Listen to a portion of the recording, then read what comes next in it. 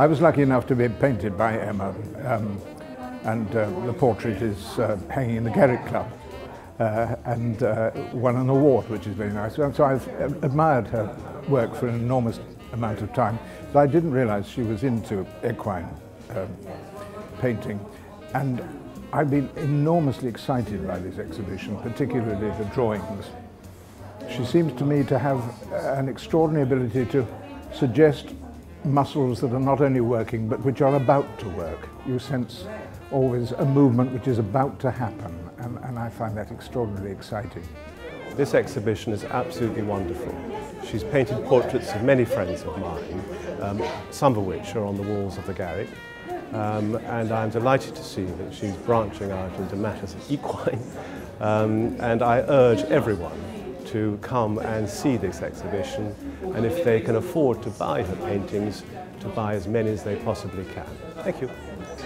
Being a painter myself, I know how incredibly dif difficult it is to achieve what Emma has achieved. The detail in her paintings is extraordinary. The use of colour, the use of black. Her paintings sing and um, often painters create something like this, but they can be a little bit like a photograph. Emma's paintings are realistic and vivid, but nothing like a photograph.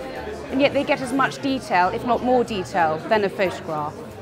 Also, to paint something that's static is very difficult to have them to incorporate the movement that she's and the tension and the vivacity and the vulnerability of a horse is extremely difficult.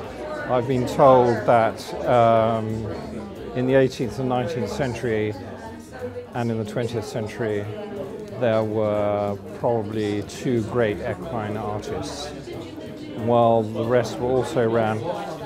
And here we are in the 21st century and we have Emma Kennaway here in the club and she's obviously one of the two great equine artists of the 21st century and it does make the rest look like also rams. I think when we saw her drawings, which is which are a bit of a departure for her from oils, they are of a standard so dazzling that they remind me of even the 15th century.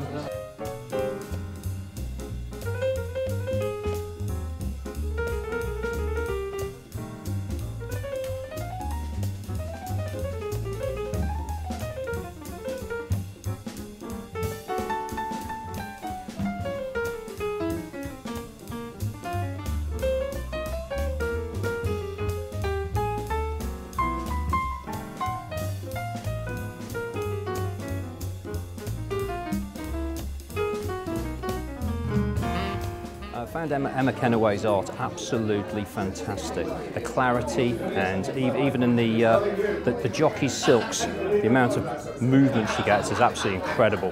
I was introduced to it by Katrina, uh, an old friend of mine, and since looking on the internet, looking at Emma's work, it's absolutely just been bowled over by it, to be honest with you. Um, but now seeing it actually in the, the, horse's flesh, so to speak, it's absolutely fantastic. And uh, I'm sure it's going to be an excellent exhibition. I'm really enjoying the show. I'm uh, particularly enjoying the uh, drawings of horses resisting, which is not something you normally see in horse art. And um, they're very expressive and it, just another angle really showing the full horse. And I think she is getting a lot of accuracy in her depiction of conformation, muscling, and also they're very expressive. The, the, the, personality of the horse is coming through a lot.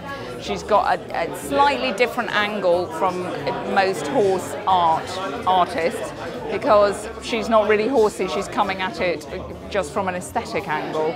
Well, it's a great privilege to be here this evening and to be asked to say a few words uh, about Emma's pictures.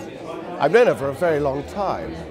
I've seen her develop uh, as, a, as a painter. I've admired her portraits uh, in the past. But this departure uh, into the realms of horses is a new and very distinctive and I think very exciting one for her and for everybody else. The pictures have wonderful life, and spontaneity. The drawings really, really flow. If you look at the number of strokes that each of those drawings must have taken to compose, it's really quite astonishing the amount of work that you find in them.